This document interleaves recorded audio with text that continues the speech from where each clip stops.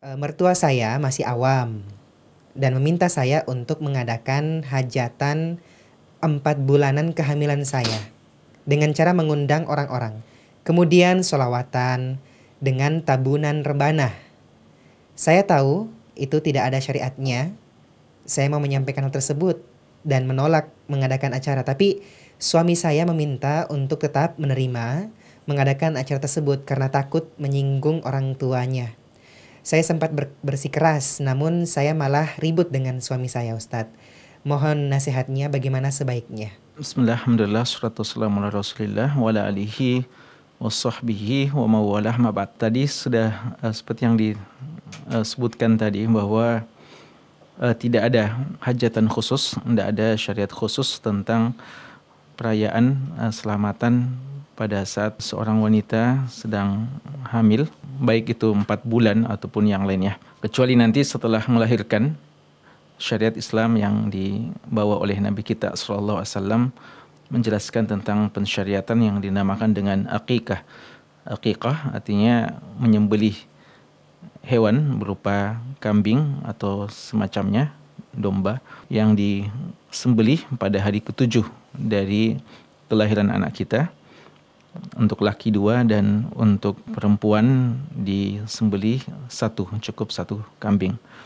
Hanya itu syariat yang diajarkan oleh Nabi kita Sallallahu Alaihi. Karenanya seperti yang disebutkan tadi, eh, apa yang diketahui oleh eh, penanya oleh ibu ini sudah benar dan dipahami dari pertanyaannya bahwa suaminya juga memahami hal tersebut.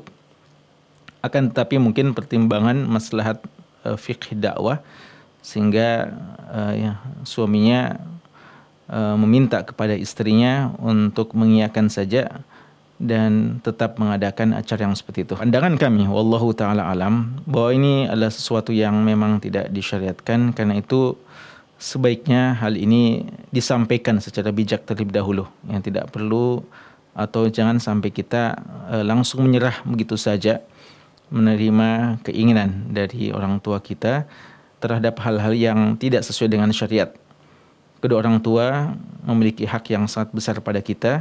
Kita wajib menaatinya dalam hal-hal yang diperintahkan oleh Allah atau bahkan minimal dalam hal-hal yang mubah.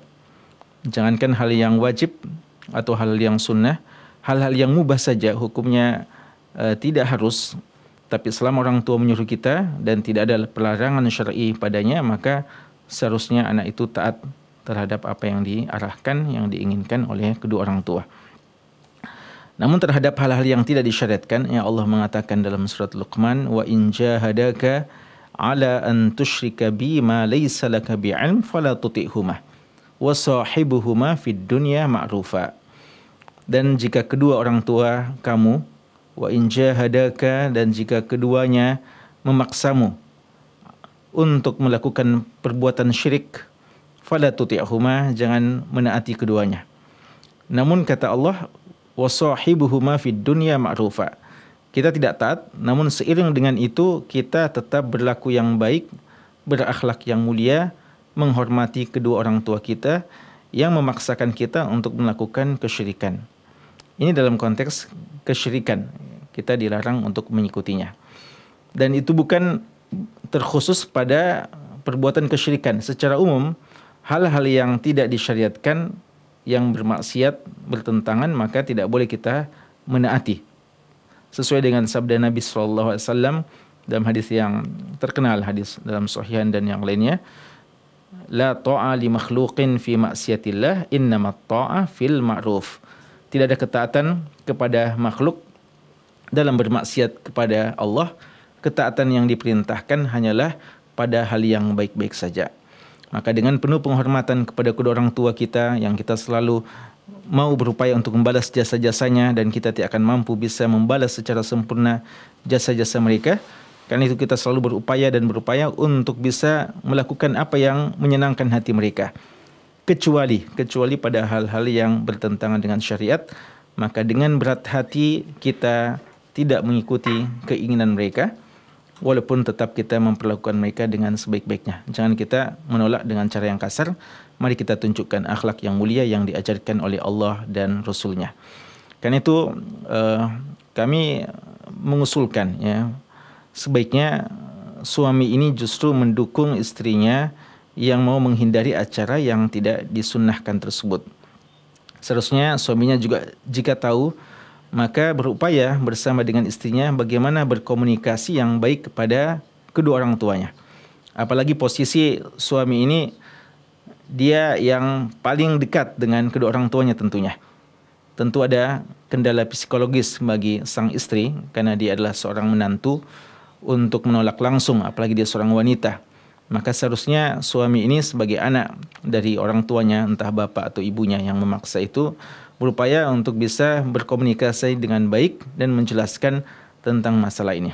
Apalagi mungkin biasanya orang tua ketika mau melakukan acara seperti itu tujuannya adalah bagaimana agar kandungan dari anaknya bisa selamat, ya, bisa berberkah, bisa sesuai dengan apa yang diharapkan, maka kita perlu jelaskan bahwa keberkahan itu justru akan didapatkan ketika kita taat kepada Allah dan Rasulnya menghidupkan sunnah-sunnah Nabi Sallallahu Alaihi Wasallam bukan justru dengan melakukan hal-hal yang tidak diajarkan tidak dicontohkan apalagi untuk sesuatu yang uh, bertentangan ya dengan syariat maka uh, sebaiknya dikomunikasikan dulu diupayakan dan diupayakan dan bisa uh, disampaikan secara baik. Namun jika hal itu telah ditempuh, lalu orang tua masih bersikeras, masih bersikeras dan mungkin melakukan hal-hal yang uh, berbahaya, ya. Jika saja hanya sekedar marah, ya sekedar marah, maka mungkin marah kemarahan itu tidak akan berlangsung lama. Tapi jika kita melihat konsekuensinya lebih dari itu akan berakibat yang sangat fatal, maka Allah taala alam yang mudahan hal itu menjadi darurat baginya. Ya, jika memang uh, kita sangat yakin bahwa dia akan melakukan hal yang sangat fatal yang mungkin mengusir ya atau tidak uh, mengakui lagi sebagai seorang anak dan seterusnya. Ya, ini mungkin kondisi-kondisi yang sangat fatal yang sangat berbahaya mungkin atau keluar laknat dan semacamnya.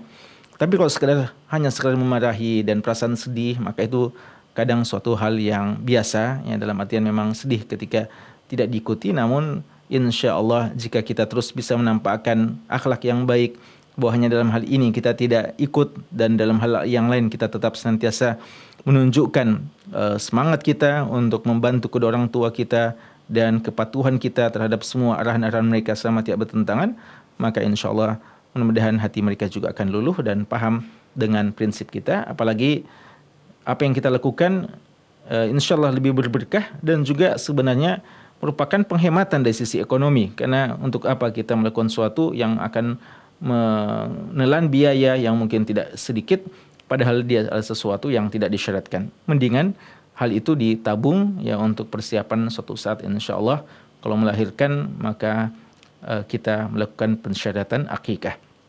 Ya karena kadang ini yang disayangkan kita mengeluarkan biaya untuk sesuatu yang besar ya banyak uh, kita berkorban tapi tidak pada hal yang disyaratkan. Lalu ketika datang sesuatu yang disyaratkan kita justru kadang beralasan tidak mampu untuk melaksanakannya. Jadi tidak boleh ya kita mengganti yang lebih baik dengan yang lebih buruk. Atas tabdiluna alladhi huwa adna billadhi huwa khair. Apakah kalian mau menggantikan uh, sesuatu yang lebih baik dengan sesuatu yang lebih buruk? Dan uh, tentu saja itu sindiran dari Allah Subhanahu wa taala kepada mereka-mereka yang kadang meninggalkan hal yang diperintahkan lalu justru melakukan hal-hal yang tidak disyaratkan. Jadi kesimpulannya sebaiknya uh, sang istri ini bisa kembali membujuk suaminya dan seorang suami seharusnya memberikan apresiasi kepada istrinya, salut kepada istrinya yang teguh dalam menjalankan sunnah, tidak justru memarahi istrinya dan sampai bertengkar. Dan mungkin kalau ada kesulitan, maka mungkin uh, seorang istri bisa minta tolong kepada ada seorang pemuka agama, ustadz atau apa yang bisa memahamkan kepada suaminya agar suami istri ini bisa uh, berkomunikasi dengan baik kepada kedua orang tuanya agar bisa dipahami uh, prinsip ini dan uh, penyikapan ini dan memberikan solusi yang lebih baik ya. Memberikan solusi dalam artian kita menawarkan bahwa ditabung saja nanti pada saatnya kita akikah insyaallah dan juga uh, kalau intinya adalah berdoa maka silahkan berdoa selama masih dalam kandungan teruslah berdoa dan teruslah berdoa semoga anak yang dikandung uh, sehat ya nanti dia akan selamat pada saat melahirkan dan juga menjadi keturunan-keturunan yang soleh bagi kedua orang tuanya. Allahu taala alam.